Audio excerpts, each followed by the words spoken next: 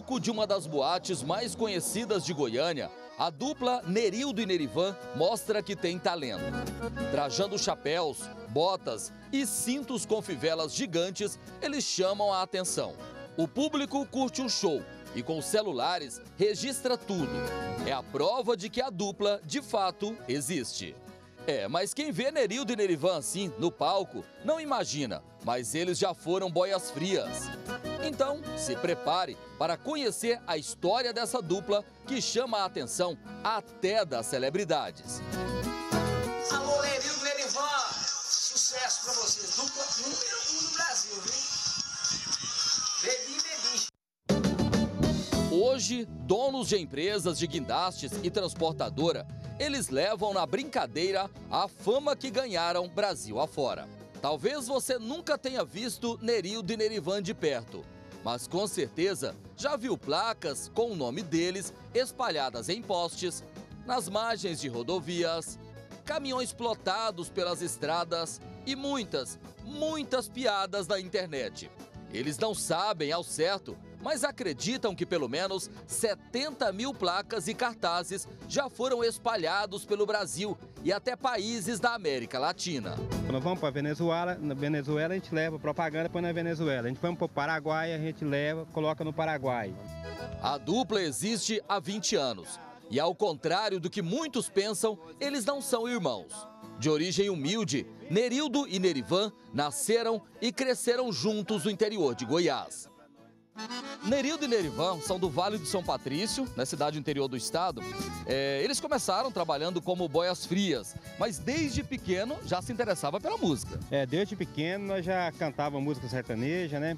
E lá na roça, na hora da, do, do, boião, a gente parava, o Nerivan lá com a viola, nós cantávamos modão, e o povo foi gostando e foi surgindo Nerildo Nerivan. Agora tem um detalhe, né? Você já foi boia fria, locutor de rodeio, peão de rodeio e já foi de quase tudo na vida. Rapaz, de tudo um pouquinho para sobreviver.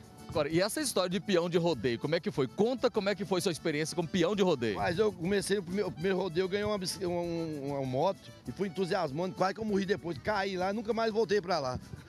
Aí depois virou locutor. Virei, comecei a ser locutor de rodeio, gravava uns versos de rodeio. Como é que era você? Faz um verso aí, é, como se você estivesse narrando um rodeio.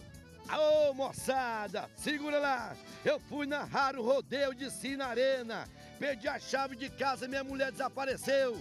O delegado aqui é corno, macho daqui sou eu. O delegado de Sinarena pegou na minha camisa e falou: repete, locutor. Repeti mais ou menos assim.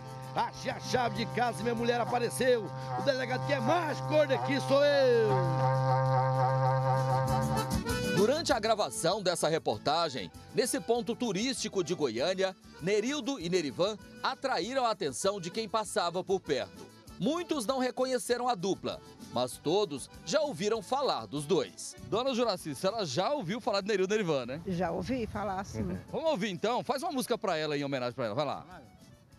Ah, vamos fazer lá. Ainda ontem chorei de saudade relendo a carta, sentindo perfume. Você já ouviu falar de Nerildo Nerivan? Já ouvi, já vi essa televisão, mãe. E aí, assim... Nerildo Nerivan, né? É verdade. Hoje, eles andam em carro de luxo. Ostentam joias imponentes com a letra N, inicial do nome deles. Já gravaram três CDs e dois DVDs. A primeira música da dupla, que chegou a tocar em várias rádios, foi Caso Pensado. Tenho a impressão que você já estava com outra alguém. Por que enganar assim um cara que te quer tão bem? Só agora eu percebi que eu estava sendo enganado. Você me abandonou, foi de caso pensado. O último DVD ganhou mega produção. Reza pra nós, reza pra nós, nós tá no pecado, reza pra nós, nós não presta mesmo, reza pra nós, nós faz tudo errado, reza pra nós.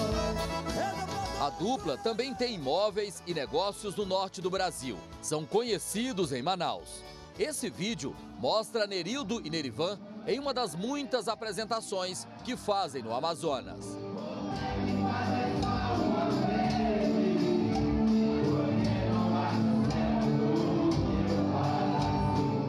Apesar da aparente simplicidade, Nerildo e Nerivan são verdadeiros marqueteiros. Dê uma olhada nessas fotos. Para chamar a atenção, eles investem até na plotagem de prédios e na instalação de outdoors gigantes nas fachadas de edifícios.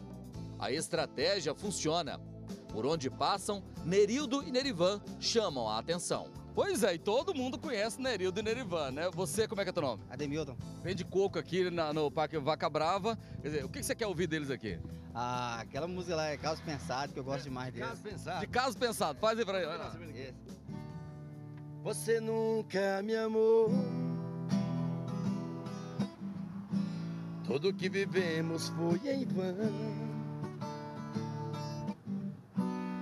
A gente mal terminou e já tem um outro amor dentro do seu coração. Segunda, Nerildo. Você sequer esperou a poeira baixar. Te tem ainda no meu pensamento, mas você não perdeu tempo. Está olhando em outro olhar. Aí, canta bem? Canta demais cara. Gosta do... Gosto demais dele, sou fã dele pra caramba. E em época de redes sociais, eles não perdem tempo.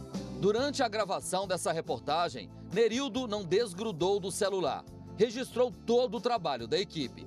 Moçada, estamos aqui com o Loares, a equipe do, da, da, da Record, Tamo aí. é, fazendo a matéria com o Nerildo Derivan. Nerildo, ele vai sucesso no Brasil. Ô, trem bom!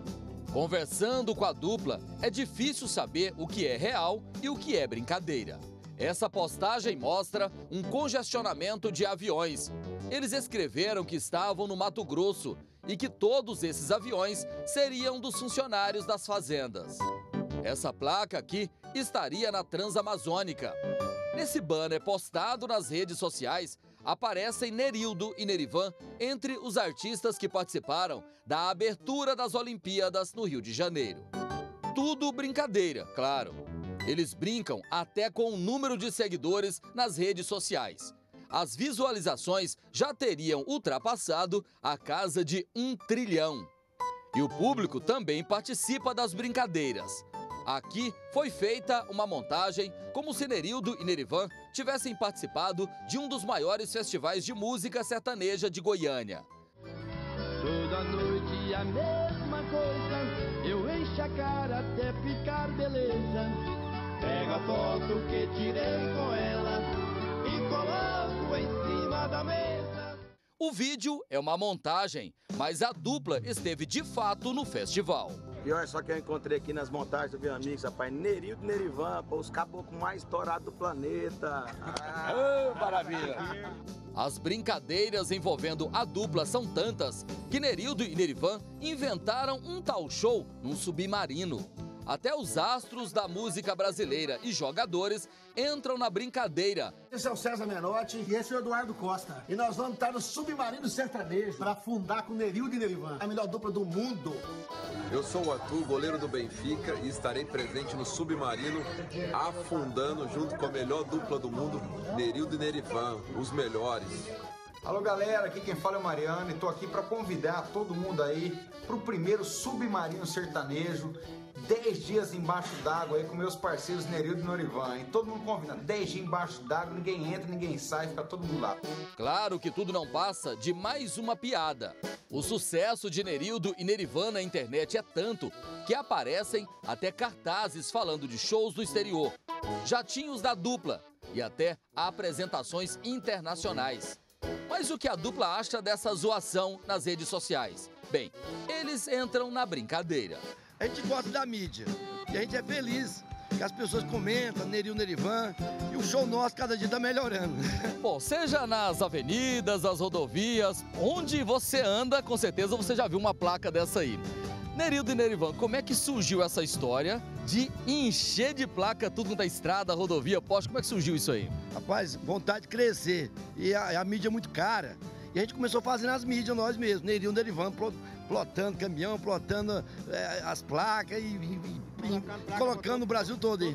Agora, foi uma estratégia de marketing, né? Que vocês é, buscaram. Ó, como não tem espaço no rádio da televisão, vamos para as placas. Vamos para as placas, vamos para as avenidas, vamos para as rodovias, vamos para o meio da mata, vamos lá para as aldeias dos índios, né? onde é que tá, tá Nerildo Nerivan. Agora, essa história de ter placa tem aldeias indígenas, isso não é brincadeira, não, existe mesmo. Não, existe mesmo. Geralmente, Nerildo Nerivan, nós gosta muito daquela região da Amazônia e nós estamos ali no meio dos índios ali. E os sempre- barcos? É, os barcos, né? Pintamos com os barcos, Nerildo. Mais de 300 Mais de 300 barcos lá na Amazônia. Essas placas aí, sucesso no Brasil, onde a gente anda no Brasil, tem essas placas aí. É, agora vai mudar. Vai tirar o sucesso no Brasil, vai ser sucesso internacional. Agora começa a carreira internacional. internacional. agora, falando, agora, falando internacional, vocês já estiveram, Argentina, Venezuela. É, Argentina, Venezuela, é, Paraguai. Tivemos no Japão. No Japão. Os fãs nossos são milhares no Brasil, no mundo, porque o que manda pra gente de mensagem, parabenizando. Fizemos uma música, Reza Pra Nós. Conta a história, Nerildo, Reza Pra É, a Nós. Reza Pra Nós, é, né? o pessoal Nós- ligando pra pedir oração pra nós. De oração pra nós. Nós mandamos as mensagens, né? Reza pra nós. E nós mandamos mensagem pro mundo inteiro. Aí o pessoal, nossa, Nerildo Nerivan tá precisando de orar pra eles, rezar pra eles. Aí surgiu Reza Pra Nós. Reza Pra Nós, a música Mas Reza é Pra a Nós. música, é. Vamos cantar um Como é que é? Como é que é? Reza pra nós, reza pra nós, nós tá no pecado, reza pra nós. Nós não presta mesmo, reza pra nós, nós faz tudo errado, reza pra nós. Até a música virou até motivo de brincadeira. De brincadeira. E aí o povo tá rezando e o show nosso tá aumentando. O poeirão levantou, Nerinho de Neriva chegou, então é pra lá